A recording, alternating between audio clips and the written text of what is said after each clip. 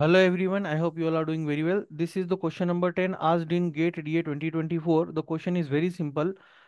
The question is like that, visualize two identical right circular cones, right circular cones, right? So the right angle they are making and this is right circular cone, fine.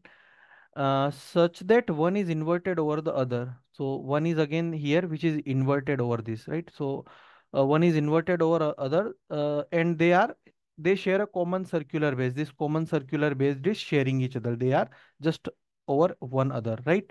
If cutting plane passes through the vertices of the assembled cones, okay, then what shape does the outer boundary of the resulting cross section make? Ultimately, you can understand it like that. Let's say this is one of the right circular cone and this is one more right circular cone, just like they are overlapping with each other, right? Now, if you will try to open this, if you will just try and try to open this, what will happen? It would acquire the thing like that, right? And here same, it would be like this. Fine. Now, thing is that if you are going to cut the uh, vertices, ultimately it is going to take this, this, this one cutted, right? So this, this, that, and that.